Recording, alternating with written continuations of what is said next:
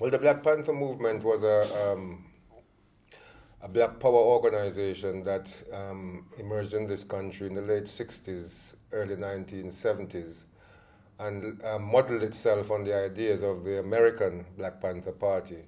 And they were an organization basically who were struggling against racial discrimination, struggling for rights for black people, and struggling against um, police brutality and murders that were taking place in America. And we were going through similar experiences in this country, and so we started a, they started an organization called the Black Panther Movement. And the slogan of the party, the organization was Black Power, People's Power. And basically, it was involved in campaigning for around issues of education, um, employment, um, justice in the courts, and against uh, police brutality.